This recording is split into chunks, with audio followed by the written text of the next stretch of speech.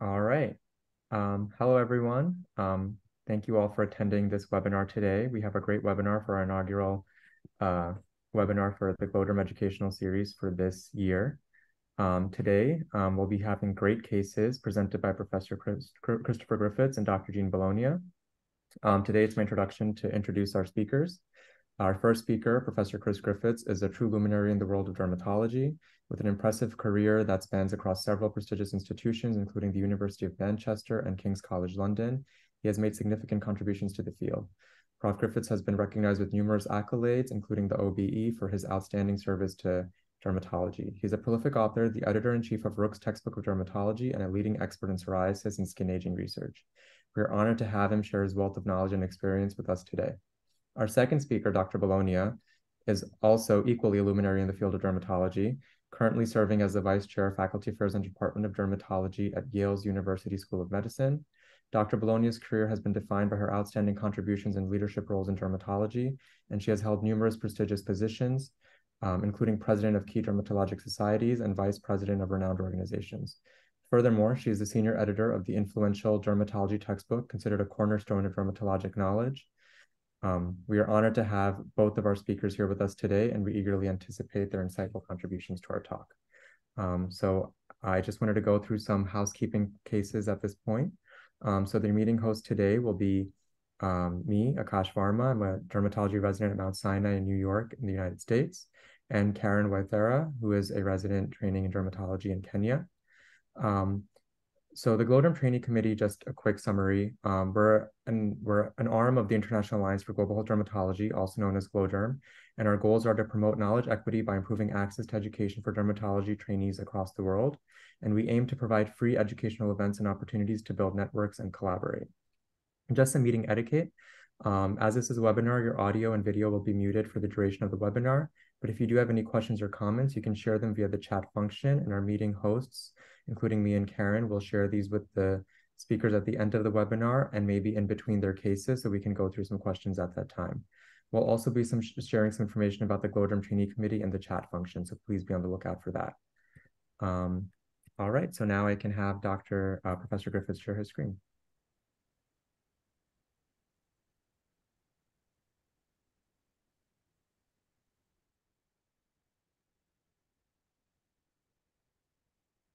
Okay, can you see that? Okay. Yep. Yep. Good. Okay, well, thank you so much, Akash, for that um, kind introduction. This will be the, I think, the third of these trainee webinars I've been involved with. The first one was I think in 2020 when I talked about pustular psoriasis. And then I think about a year ago, Esther Freeman and I were, inv were invited to sport talk about registries. But today, it's a real um, pleasure to be talking about um, great cases and I've chosen cases which are, some of which are, are on their own, maybe not too exciting, but they're important milestones in my career and I think are important in global dermatology. And then I've chosen some other interesting and somewhat unusual cases. And we'll see how we go over the next um, 25 minutes or so. Uh, to start, though, you think it's unusual that um, I will be on the same um, agenda as uh, Dr. Bolognia, because in essence, we are publishing rivals and that we both, uh, I have the great privilege of um, being the editor-in-chief of Rook's Textbook of Dermatology, which is approaching its 10th edition, which will come out next year. And of course, um, Jean has the um, eponymous uh, Jean's um, Bolognia Dermatology, now in its fourth edition, both of which I would say are cornerstones of um, dermatology education. But of course, Jean and I are not necessarily rivals. We're actually very good friends. We served on the ILDS committee for eight years together. And there's a very memorable occasion when we were um, invited to the Italian embassy in London at the time that we were on the scientific committee for um, the uh, World Congress in Milan in 2019. And uh, this is a picture taken in 2016 where we are at home in our um, palatial surroundings. Um, I'm taking the back the back seat here because the real star of the show is there on the front. okay, let's go into some cases then. So this first case, uh, I don't know if you can see the top of the screen here, um, is a young man who has um, severe um, sudden onset psoriasis. And his picture is taken in 1985. So my dermatology career spans almost 40 years. So these pictures are taken when I was a registrar. And this is important because I trained in London at St Mary's Hospital, and our inpatient ward was across the corridor from the inpatient ward for the um, uh, venereology patients. And in 1984, we started to be asked to uh, consult on a number of um, unusual skin conditions in young homosexual men. And not just uh, unusual conditions such as histoplasmosis, which we rarely saw in the UK, but very florid infection. And also were being referred people, uh, men who had seborrheic dermatitis and sometimes very severe psoriasis. And at that time, we were not sure what, what, you know, why these young men were so unwell, and this was an invariably fatal condition. But these were the very first patients with AIDS in the UK, and St Mary's Hospital was where they were managed. And so we were able to see a whole panoply of presentations, cutaneous manifestations of AIDS at that time, and wrote one of the first articles sort of laying out the glossary of um, dermatological presentations, one of which um, was um, development of seborrheic dermatitis and also severe sudden onset psoriasis. So I think that's in, that's important just to bear that in mind as that that reaches right back over almost 40 years. And in those days, there was no treatment for HIV infection. The next case is uh, another young woman I saw also when I was a registrar, a 24-year-old woman from Thailand who had come to London to work as a cleaner. And um, she had um, been referred by her GP as is this psoriasis. She'd had this lesion for about nine years on her right um, knee, sorry, right knee. And this is an interesting case because it um, shows the importance of doing a full examination. So looking at that, you can see straight away that you know, this is the only lesion that she had. It'd been progressive, and you can see this is definitely not psoriasis. You can see that it's been progressive. It's well demarcated, a little scale. That's why the GP was probably fooled. But also there's some scarring, but these are juicy infiltrated um, plaque. So what could the uh, what are the differential diagnoses here in, the, in a woman of this age? Well, this is lupus vulgaris. This is cutaneous lupus, which is um, primary cutaneous lupus, which is, occurs in people, uh, primary cutaneous TB rather, which is seen in people who are not previously um, immunized. Of course, due to Mycobacterium tuberculosis, it's still a rare presentation of TB, but it's persistent, it's progressive, usually on the limbs, and can eventuate in a squamous cell carcinoma and uh, can often be missed. In the past, we used to use diascopy, which was just pressing a glass slide onto the lesion. You can see these apple jelly nodules. Now, nowadays, you could be more sophisticated and use dermoscopy. The other um, form of cutaneous um, TB, which is not so common nowadays, which is seen in people with immunity, is a sort of warty TB, tuberculosis verrucosa cutis. It used to be called Prosector's wart now, prosectors were people who worked in the autopsy room, and they may, get, may, may have got that through inoculation of um, a dissection of people who had died of TB. Diagnosis is caseating granulomas, AFB, and acid-fast bacilli are rare in these lesions, and one should check uh, Mantoux nowadays an interferon gamma release assay. Now, the treatment varies from region to region, but usually involves um, use of rifampicin, ethambutol, isoniazid with or without, with or without pyrazinamide. So she was treated with rifampicin, ethambutol, and isoniazid after the diagnosis was made. However, a week after she had started treatment, there was a problem. She was readmitted to hospital through the accident and emergency department because she was hypotensive, she had severe abdominal pain, and she had collapsed at home. And important on the examination is that she had a, a very low sodium. So what was happening here, and something that hadn't been picked up because we didn't have MR scans in those days, was that she had had adrenal involvement by TB. Now, her mineralocorticoid production was sufficient enough for her to be okay. But as soon as she went on to rifampicin, which you may know uh, it, uh, is an inducer of those metabolizing enzymes in the liver, the mineralocorticoids, her reserve dropped too low and she went into Addisonian crisis. So the lesson there is always to do a thorough examination and check other sites for TB, even though you think it may just be isolated to the skin. And remember that little caveat about rifampicin. Now, when I was in Michigan, this is a man from the University of from Michigan, the United States. I worked there for seven years. We did a lot of work um, developing the whole concept around use of topical retinoids for the treatment and management of photoaging. And there was a medical student working with me who was recruiting um, subjects for these studies.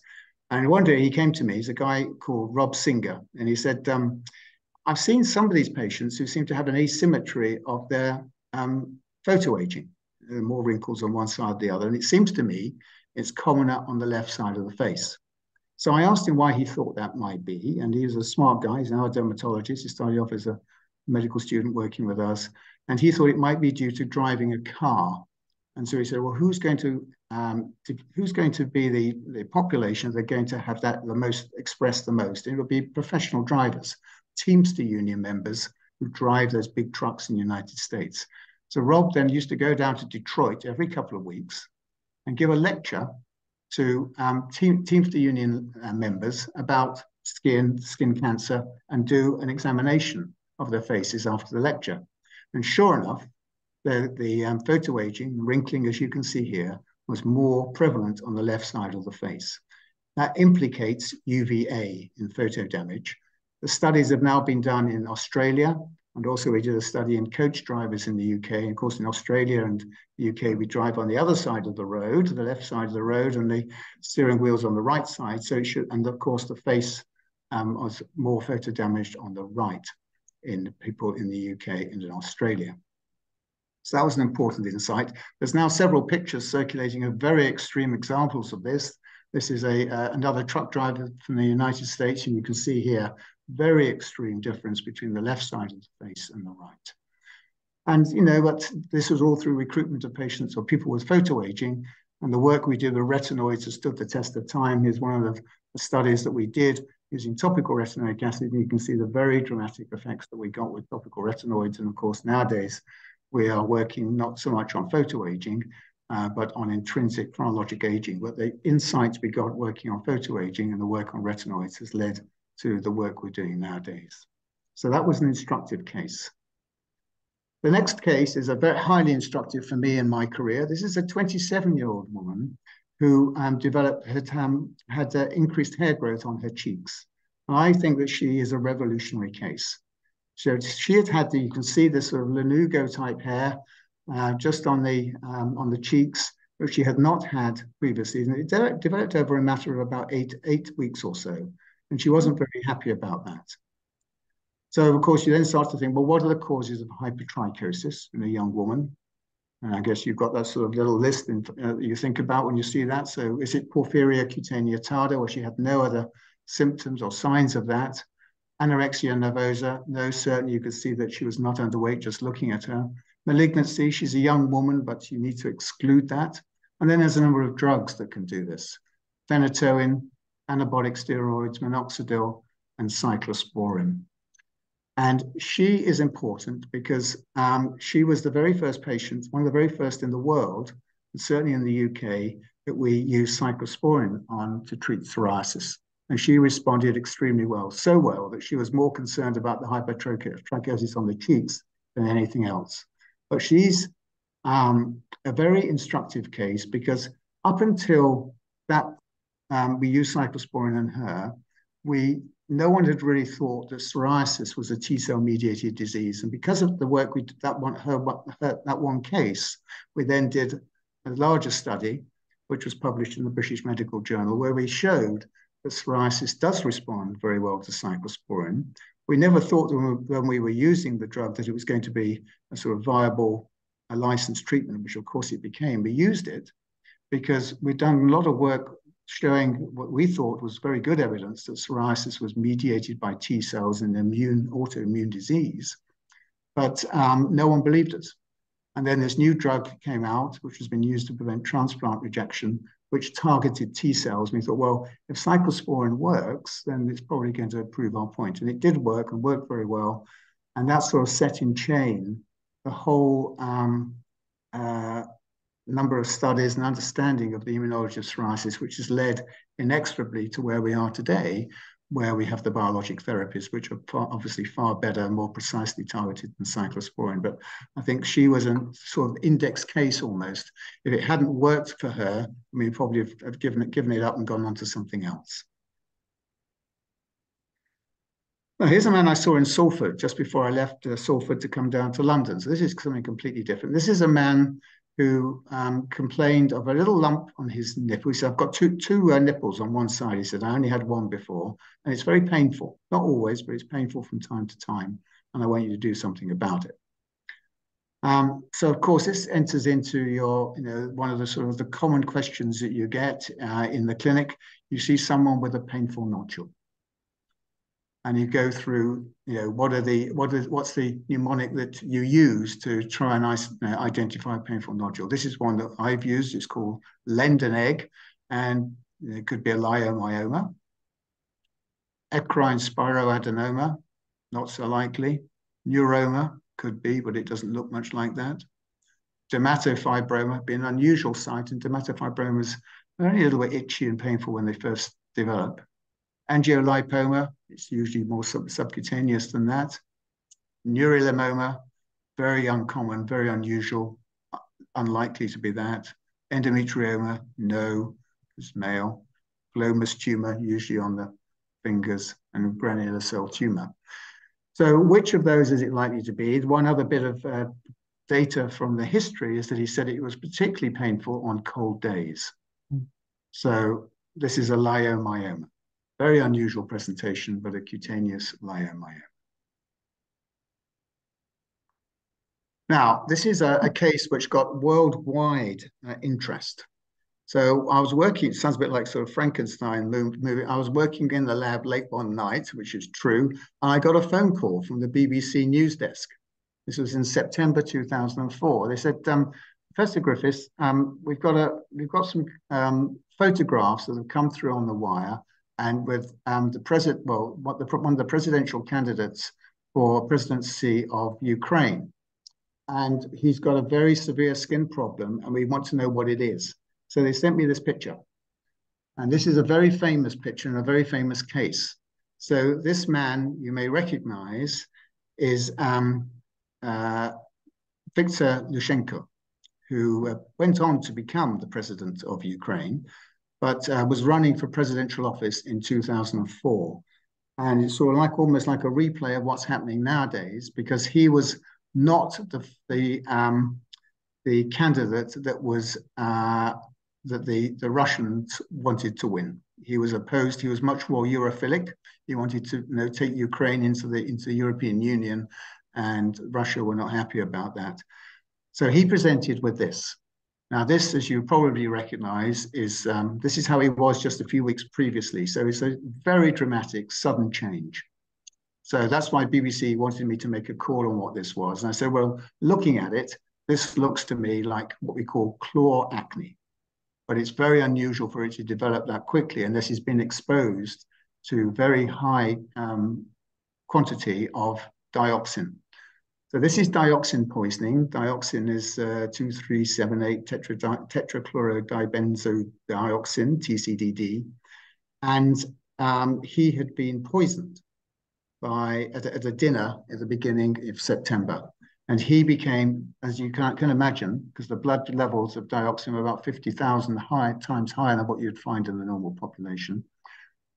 And it's called chloracne, though chloracne is a misnomer, really, because this isn't acne. It affects the sebaceous glands. It's probably better known now as MADISH, meta metabolizing acquired dioxin-induced skin hamartomas. So dioxin is concentrated in the sebaceous glands, and then it's a sort of genotoxin, and it uh, produces these hamartomas. And so what he has are comedones and hamartomas, which are looks like cysts. And this can occur due to poisoning, as I've just mentioned, or occupational exposure or due to industrial accidents. And there's a very famous one in northern Italy in a place called Seveso in 1976, where an in industrial plant uh, caught fire and there's large amounts of dioxin released into the atmosphere. And there's a lot of cases of chloracne at that time. Um, Viktor Yushchenko was seriously unwell, was air transferred out from Kiev to um, Vienna. He had pancreatitis and liver toxicity. He didn't have the neuropathy. And uh, the diagnosis is made by histology and also the presence of the cytochrome P450 enzyme CYP1A1. And um, he was then managed by a person that Jean and I know well, uh, Professor Jean-Hilaire Saurat, who was professor of dermatology in Geneva. And um, he managed him very well. um, to just managing the skin manifestations. But around that grew up this whole new subspecialty of dermatotoxicology. And it's because of the work that Professor Saurat did, and this is published in the Lancet in about 2009. And we've got a much better understanding of how this how this happens.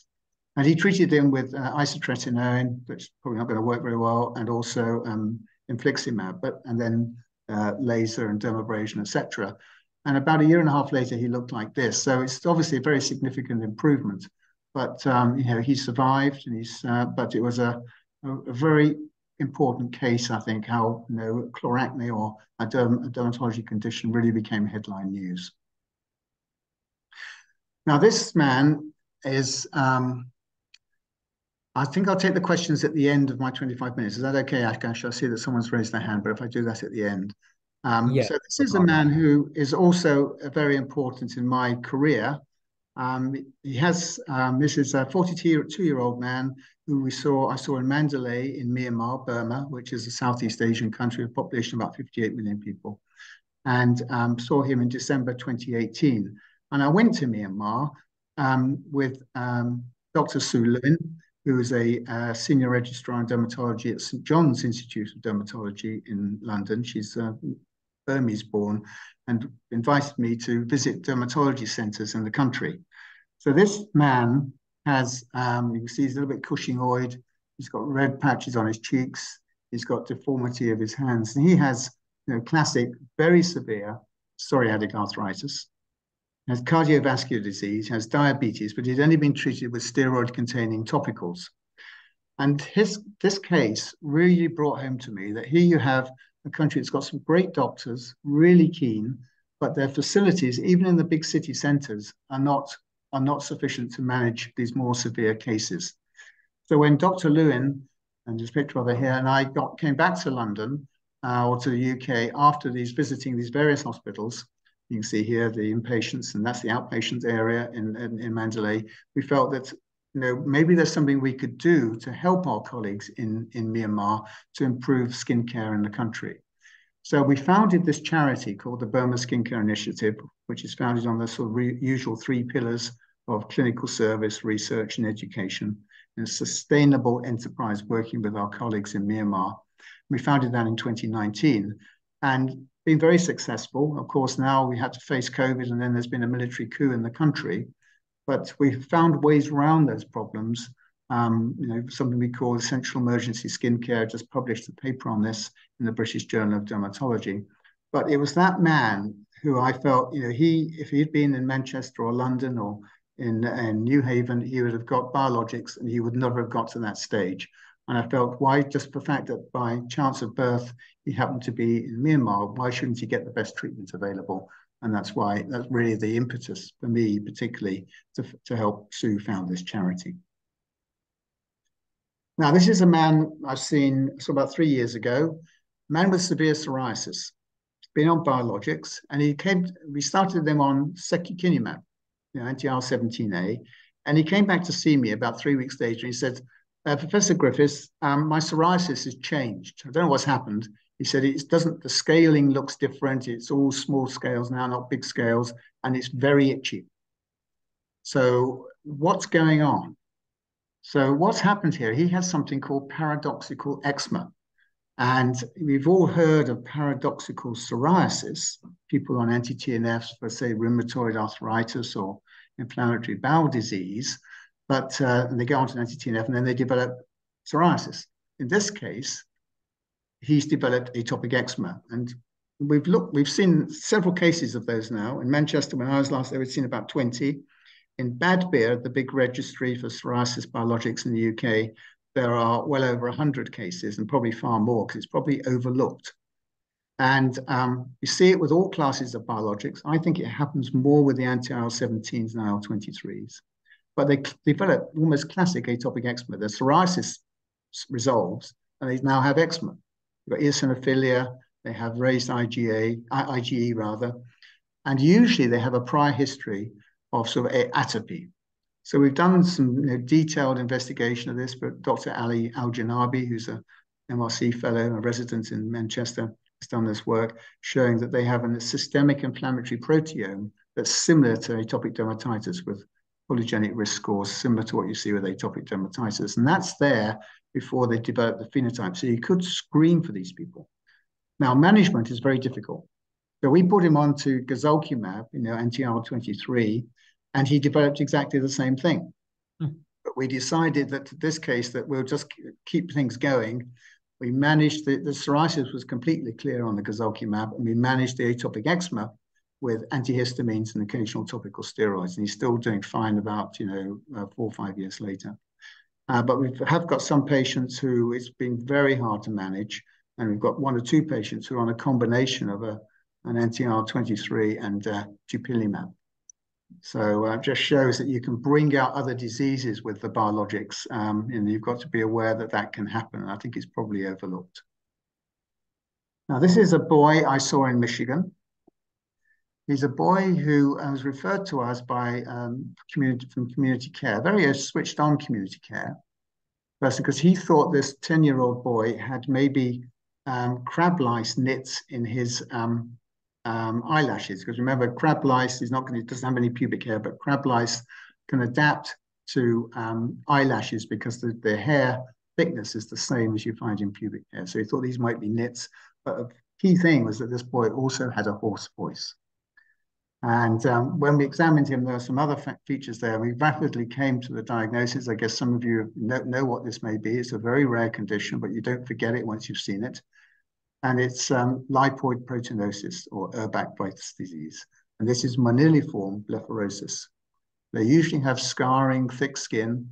They have hoarseness because the vocal cords are affected by this hyaline-like material deposition. And there are some cases of epilepsy and autism, interestingly.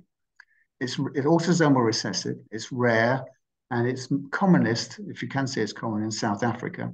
And it's due to a loss of function mutation in the extracellular matrix protein 1.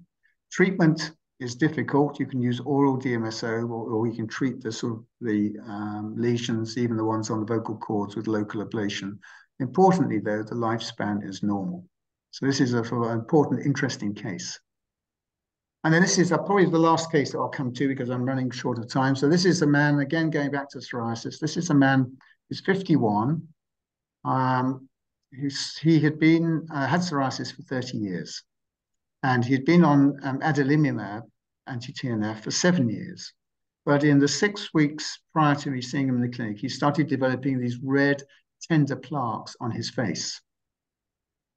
So what's going on? You've got a man with red tender plaques in his face. He feels a bit tired, but otherwise okay. He doesn't have a, a temperature. He doesn't have a um, leukocytosis. So the differentials for plaques on the face are the sort of classic ones, sweet disease, so he had no other features of that. Sarcoid is always the great mimicker. Lupus profundus, be unusual to look like that. Lymphoma, either B-cell lymphoma or um, mycosis fungoides. Jessner's benign lymphocytic infiltrate, granulomatous rosacea, though this would be an unusual presentation of that. Someone who's on a biologic, you've got to think of an unusual infection, in this case, a deep fungal infection, or could it be a drug reaction? So we did these tests, you know, um, all normal except for the skin biopsy, which you might imagine. And the skin biopsy showed these um, palisading uh, granuloma around some um, necrobiosis and lots of mucin deposition. So he had something called interstitial granulomatous dermatitis, uh, which presents exactly like he has presented. It's unusual. It's more commonly associated, as you may know, with connective tissue disease and arthritis, and it's often seen on the as a paraneoplastic phenomenon and associated with a variety of hematological diseases. But also it can be drug induced. And the drugs that are known to do it are these, and of course, anti-TNF biologics have been reported, and that's exactly what would happen in his case. He'd had this was induced by the adalimumab, even though he had been on it for, for seven years. This happened, and um, so we switched. We stopped the the um, adalimumab, switched them to ixekizumab, anti-IL-17, and it, they responded very responded very quickly. This picture is taken just about four weeks later. And it's already starting to recede.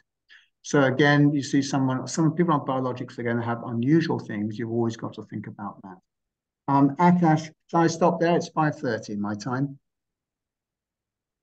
Yep, I think that's great. Is that Um, okay? I, I'm happy to take some questions. I hope that was okay and a few sort of That was, interesting that was absolutely wonderful. And I think um, if anybody has any questions, we don't see any posted in the chat just yet. But if anybody has any questions, this would be the best time to either raise your hand or put them in the chat would be the best option.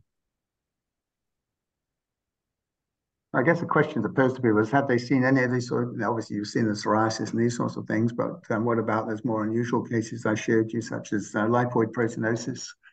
That's one, once you've seen it, you don't forget it. I don't know if anyone's seen that before in, in real life rather than the te- rather than those two great textbooks that I showed at the beginning.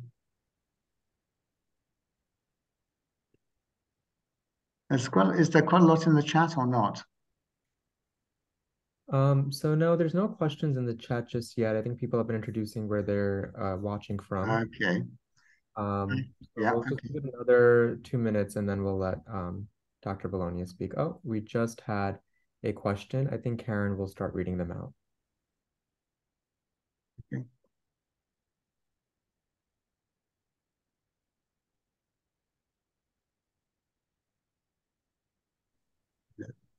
Okay. Um, well, I, I can't see the question, Doc. Can you see it? Maybe you can read it for me. Um, sure. So the first question is from Manho Chung. He is asking, have you seen paradoxical lupus reactions with anti-IL-17 inhibitors? Anti-IL-17? No, I've not seen that. No, I've not seen that. Uh, you've got to think about lupus with patients on anti-TNFs, but um, you know, there's um, that is actually extremely unusual to see with the anti-TNFs, even though we always do the um, antibody screening. But of course, we manage the clinical manifestations and not antibody levels. But um, I think that the illustrative thing here is that you've always got to think. You should never be complacent when you have someone on a biologic. Hmm. I think you've always got to think about unusual infections, common infections as well. But the one thing we learned from COVID, you know, we set up this COVID register called PsoProtect with colleagues, you know, uh, Catherine Smith and Satveer Mahil and Jonathan Barker at uh, St. John's, which taught us that patients on biologics are actually protected from the more severe manifestations of COVID. Obviously, you know, their susceptibility to severe disease is the same as other the other uh, markers of susceptibility to severe disease, such as being overweight and male and ethnic minority and um, um, over 65. But the biologic, the only biologic that increased risk is not one that is one that we only use occasionally, but not for psoriasis, and that's rituximab. Uh, but overall, the biologics, rather than being immunosuppressive or immunomodulatory, and in this situation, um, in during COVID, they actually seem to be protective of having severe disease and being admitted to hospital. So we learned a lot. So diseases can teach you a lot about the drugs that we use. All right, I think we should. Uh, I should stop there. I'll stop sharing and I'll hand over to uh, to Jean. Sure.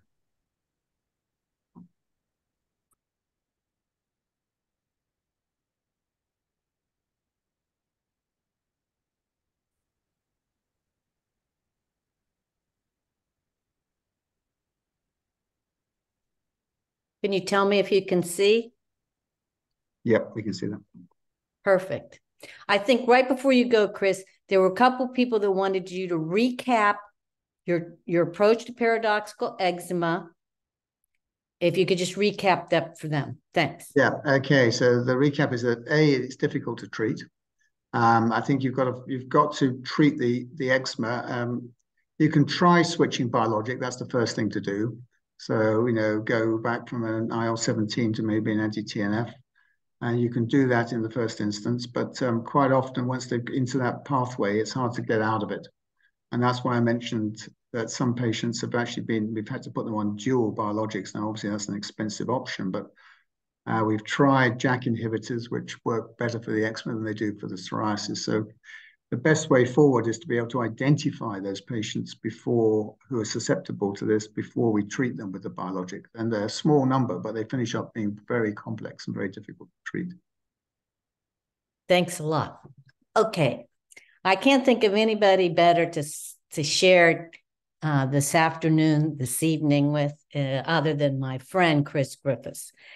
Um, we've been together a long time as friends, and I always enjoy his company. I'm going to start off with my rules of three because I think a lot of people in medicine try to complicate things. And I always wonder why they complicate them. Is it because they don't understand it or because it's more of an elitist move? So I like to simplify. So for me, here are my rules of three. And that is for etiology, I like common, uncommon, rare. I like for disease severity to be mild, moderate, or severe. Now, I realize that people are worried about artificial intelligence, but if there's one thing we can be happy about, it's that the AI is going to finally do all your PASI scores for you. So you won't have to sit there and figure out an exact score. But nonetheless, when I walk in the room to see a patient, I like to judge mild, moderate, severe. And is it acute, subacute, or chronic? And let me give you an example. If you look at the Alden score, so someone could say, well, what's the likely um, drug that caused TEN? And I walk in the room and I look at the list of meds and I say, well, these two are high prob, this one's moderate prob, the rest are low prob. And they say, but you didn't use the Alden score. And I say, well, let's look at the Alden score for a minute. And that is you get need six or more points for it to be very probable. And I get three points for the patient being on the drug for five to 28 days. I get nothing for them having it at the time of the onset of the rash, the drug on board, either because of half lives or because they're actually on the drug. And I get nothing for having stopped the drug. Now, if you look at the list, yes, you get points for a re-challenge, but we have to think to ourselves, how often do we walk in the room with somebody with TEN and they've been re-challenged? It's quite a rare event. So in the end, it comes down to what you see in the green box is, is it a high prob, mod prob, or low prob drug? So even though it sounds fancy to say you used an Alden score, sometimes common, uncommon, and rare, or high, medium, and low are actually a much better way to think in your mind. In addition, I use the rules of three for response to therapy better, worse, same, and level of evidence. Now, I'm sure I'm going to offend someone when I say that I use it for level of evidence because I'm not one that sits around worrying about whether or not most of the studies in the review were cohort or case control. And I'm sorry, but I don't. I just need to know is the evidence for this treatment high, medium, or low? And in dermatology, a fair amount of the medications we use and the topical treatments we use are low. But you have to move on. You can't just become paralyzed by the fact that we don't have high evidence for everything we do. So I'm much more into high, medium, and low. And when it comes to treating patients and evaluating them, I think that if they're doing better, you're happy. They're doing about the same, you start to worry a little, you start to think about what else you can do. And when they're worse, you have to regroup, you have to be honest with yourself. And then you're going to say to you, get help, ask others, etc.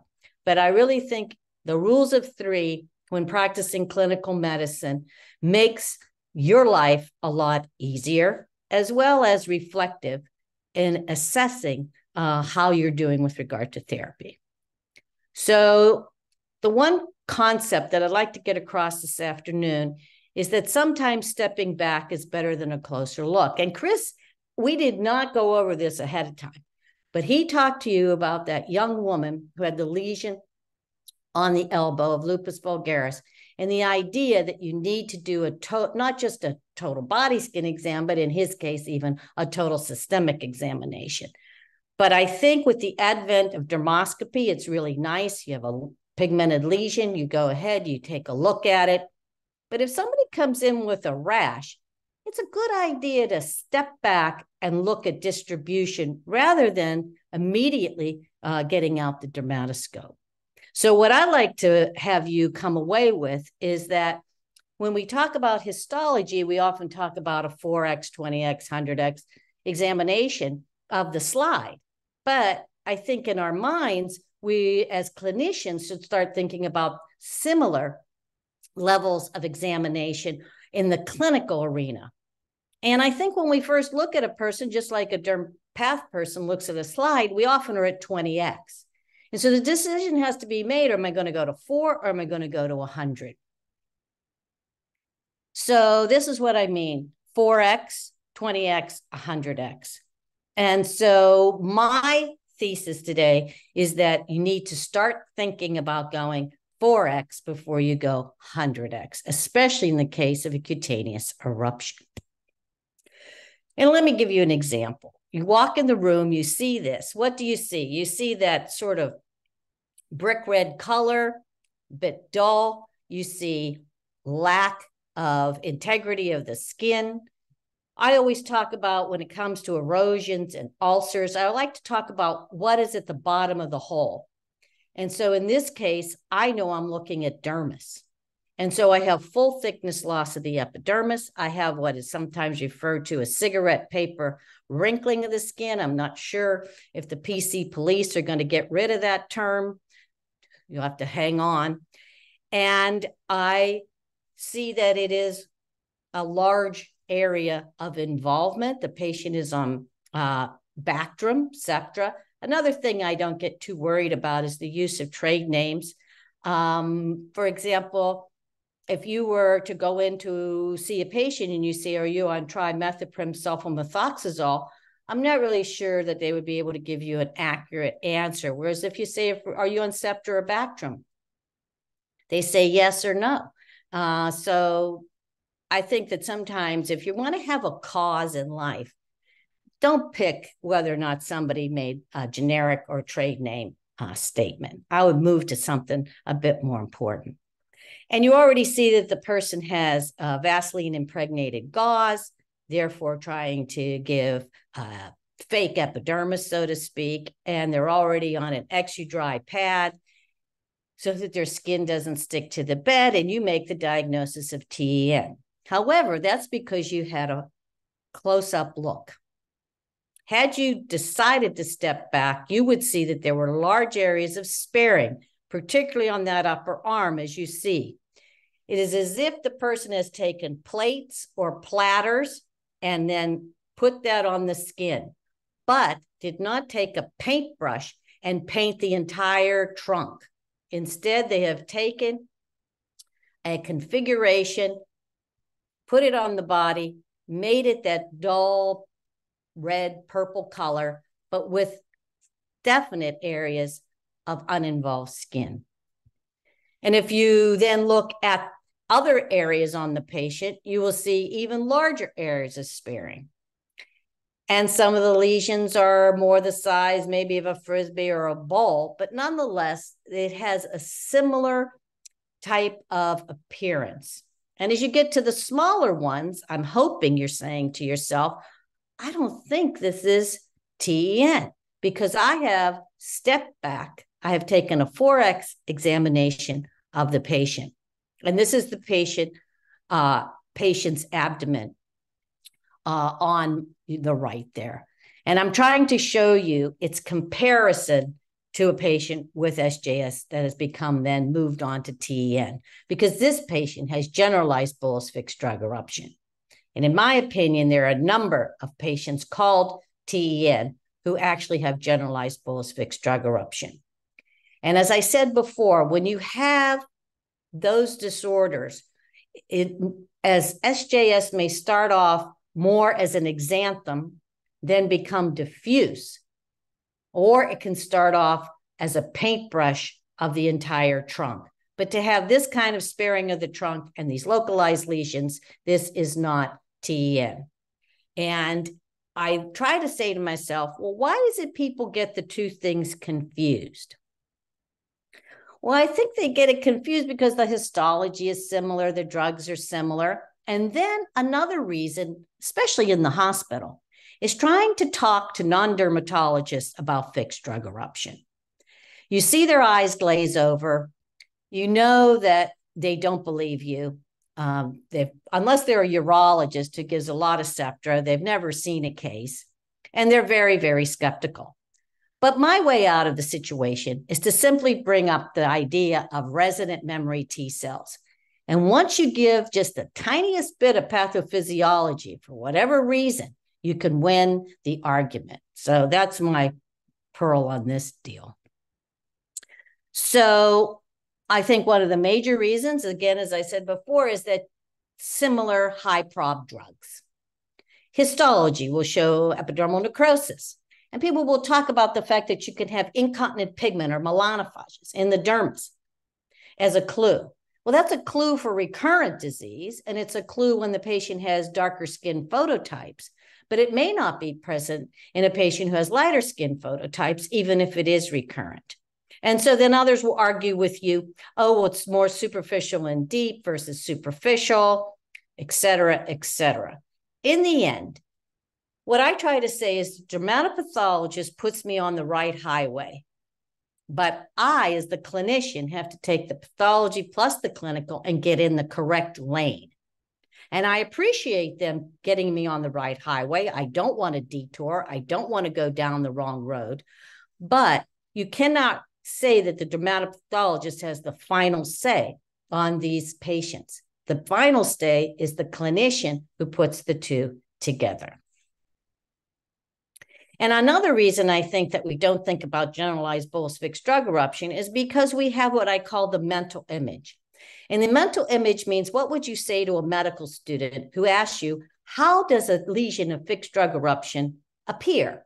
And you would say a coin sized lesion. It may be dull in the, the dull red, violet in the center. It may even have a bulla, and it has more of a circular to oval uh, shape. And you can see sometimes uh, a little bit of loss of epidermis if that bulla should slough. And then as it heals, you get hyperpigmentation due to incontinent pigment. However, generalized bullous drug eruption is more unusual than the classic, of course. And in addition, it sometimes doesn't register within that mean plus or minus two standard deviations. Now, I don't think you should ever be confusing SJS in its early stages with generalized fixed drug eruption. Now, once SJS becomes confluent and you move to an overlap situation, then yes, you could confuse the two. But in the beginning, it is an exanthem. And it is what as I refer to as extra crispy. And what do I mean by that? Well, the original recipe for Kentucky Fried Chicken is what I see as a morbilliform eruption. And then if I see fragility, especially over the scapulae, if you have a patient in the hospital and you're trying to decide, oh, is this a morbilliform eruption or even in the clinic versus early SJS? Look over their scapulae because that's an area that gets sheared in bed when they're sleeping. And you will see loss of epidermis in those areas, or you may touch it and the skin will slough. So I look for sloughing, fragility, of course, vesicles are bullae. And is there mucosal involvement? And do you have that dusky color? Okay. And then I refer to the eruption as extra crispy. And then I know I have to be more on guard. So let me show you what I mean.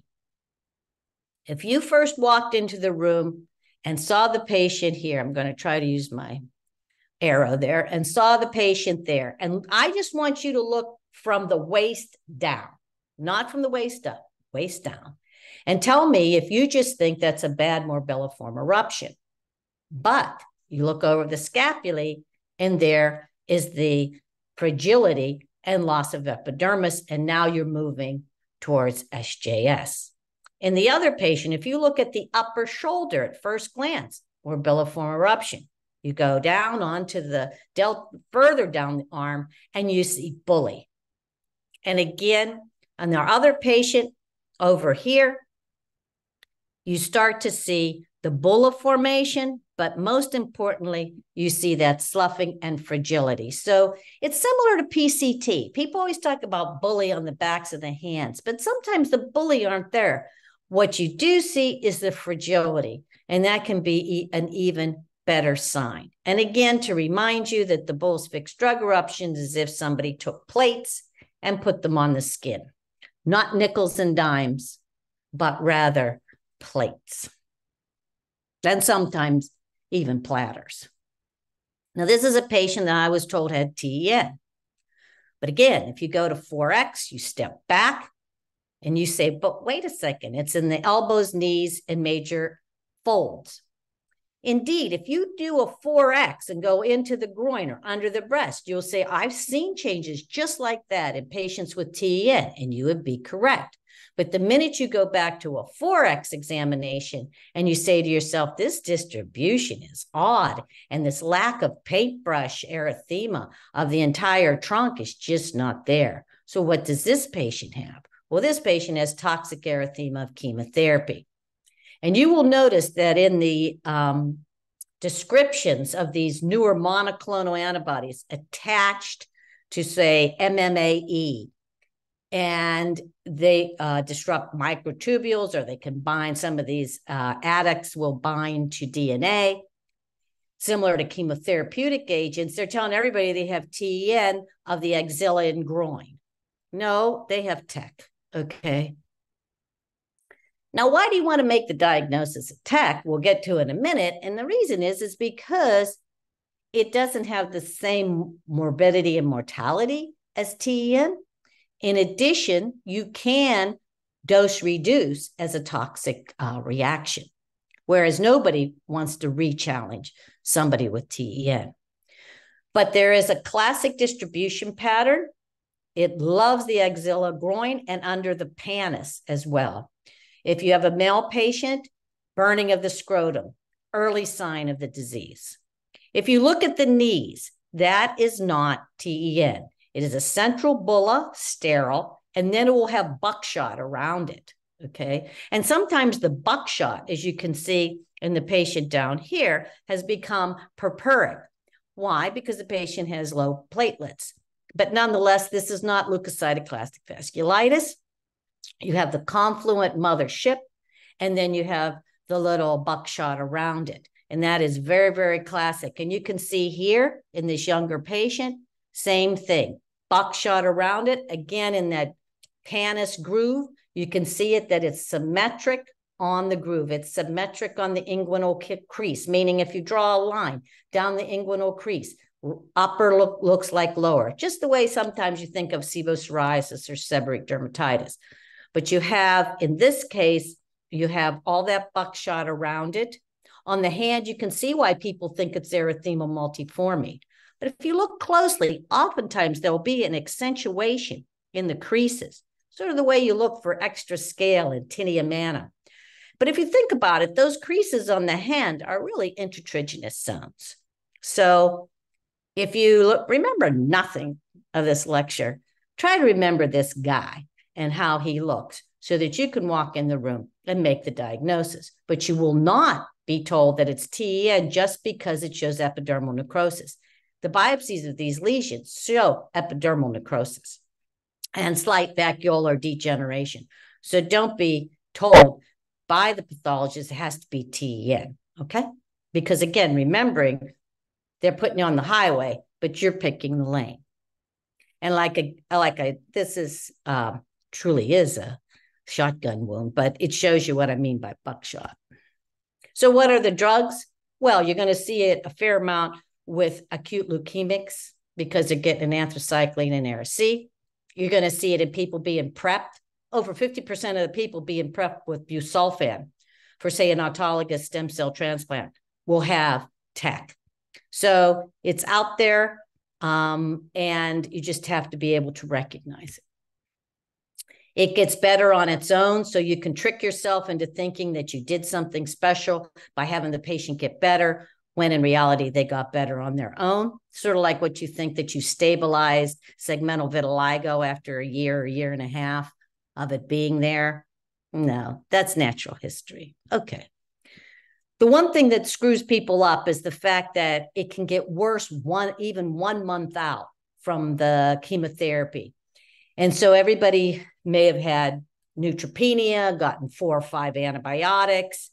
And what do people think uh, who don't know about TEC They'll walk in the room and say, oh, this must be cutaneous candidiasis because we've changed the microflora, because we've given so many antibiotics.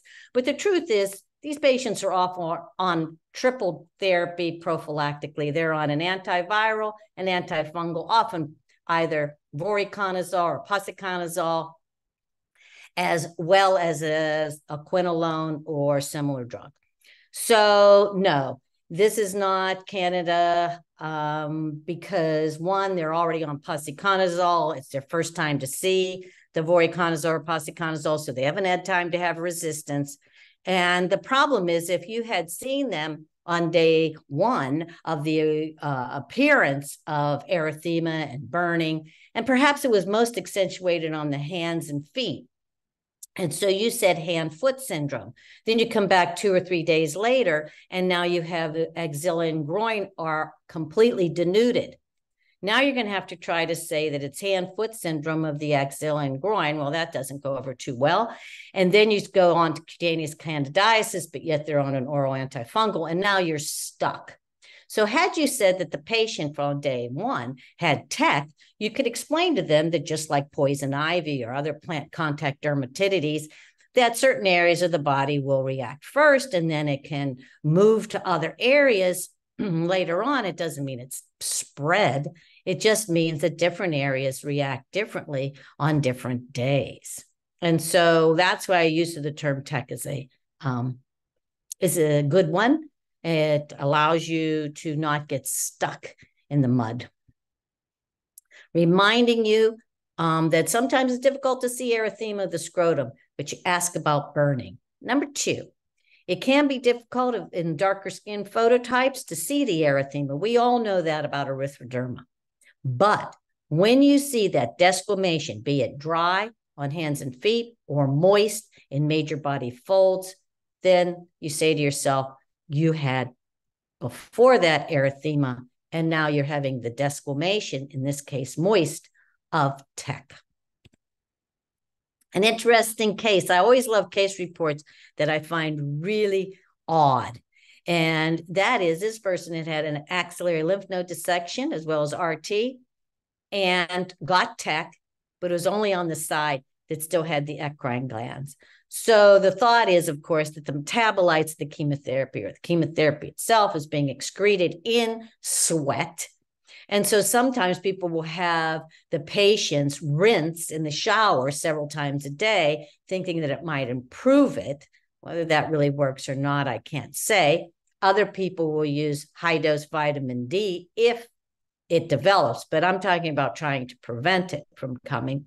And so I don't know. You'd have to hold on to your uh, horses, but maybe botulinum toxin. The problem is, I don't think too many people want it injected into their groin. The axilla, okay, but groin might be off base. So, as I alluded to before, why do we want to distinguish between TEC and TEN? Is because if you do dose reduction, you can reduce the chance of getting TEC. And when I was in training, um, our differential diagnosis of TEN was staph scalded skin syndrome, even if it weren't a baby and somebody with renal uh, disease, and we would call in the pathology resident and make them do a frozen section. I think there was this sense that if we're suffering at night, they have to suffer at night. We already went over SJS, but as times have become more complex, so has the differential diagnosis of TEN. I already went over the generalized fixed drug eruption. Uh, the TEN like presentation of SLE is real. It can occur with immunosuppression being decreased, or it can also occur whenever uh, a de novo.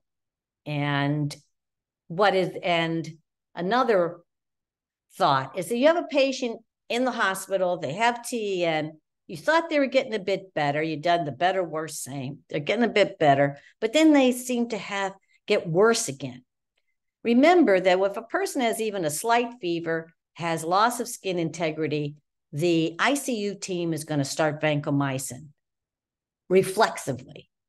And so, always in the back of your mind, you have to remember that vancomycin can bring, bring out an LABD that can look like TEN. So, you need your DIF, and that will help you because sometimes when you've made the diagnosis of TEN and you're trying to tell people what the drug culprit was. Maybe you only had one moderate problem drug and two or three or five, low prob. And so somewhere in your gut, you've you have some sense that maybe I got it wrong.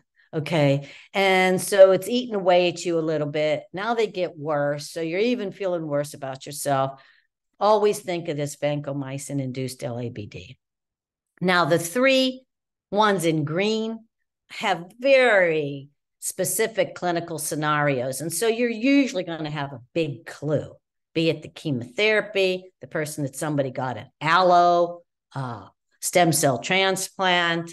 And remember, if you're in an institution where a lot of people are getting grade four uh, acute GVHD from the stem cell transplants, you need to think twice about maybe using another hospital. And then congenital or that burned, scalded look that you can see in preemies.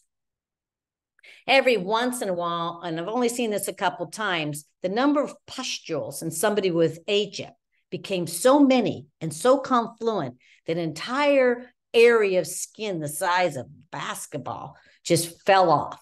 Um, but that's very unusual. And then every once in a while, there's an autoimmune uh, disease.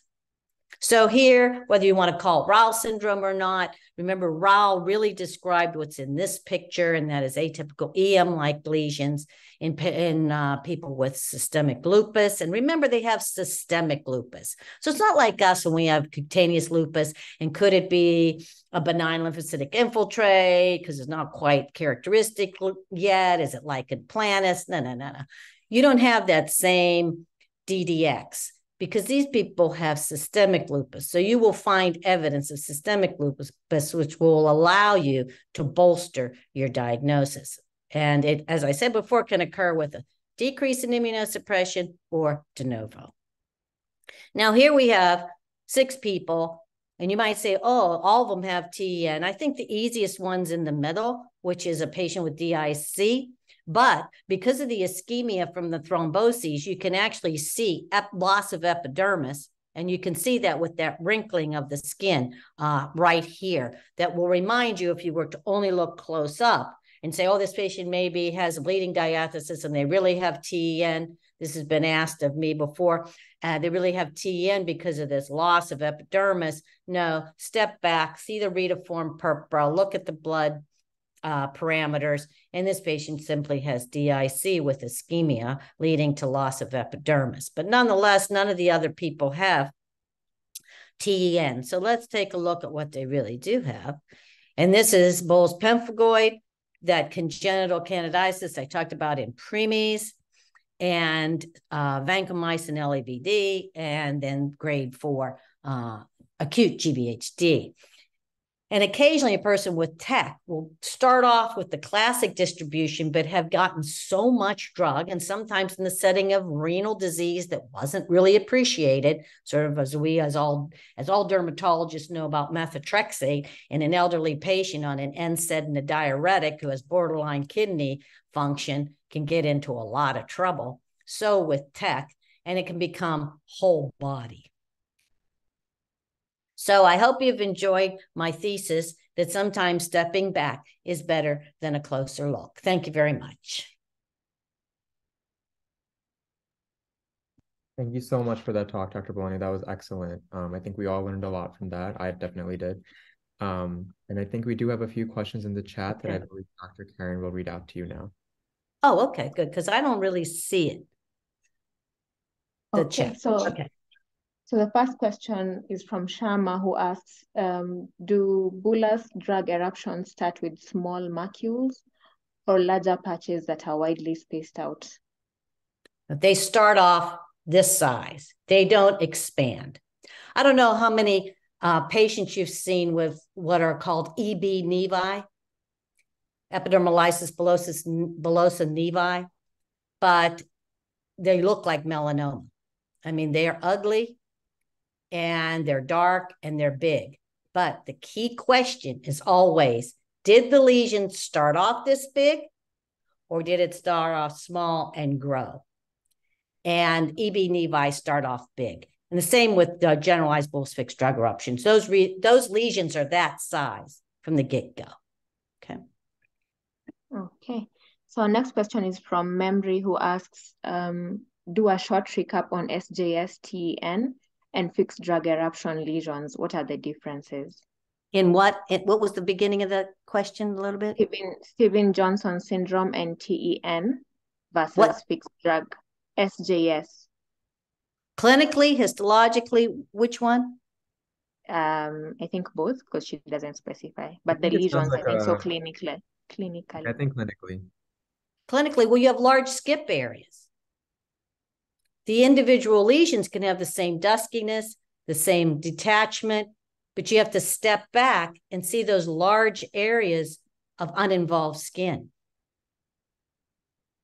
In a classic FDE, there's usually what, five, maybe two, five lesions. So 95 plus percent of the body surface area is uninvolved. So nobody really has a problem with that. But once you start getting to about 15% body surface area, 20% body, body surface area, people start wondering whether or not it's uh, TEN. Okay. Um, yeah, right. the rest are saying you had a great presentation. Yeah, I think there's a lot of uh, praise in the chat, but no other questions. So okay. I think I think that would be it for now. So I just wanted to thank everyone for attending, and I wanted to thank you, Dr. Bolognia and Professor Griffith, so much for your time today. Really appreciate it, and I'm sure everybody learned a great deal today. Um, we're very grateful for your time. Have a good week, everybody. See you. Bye. Thank you for the invitation. Bye. Bye.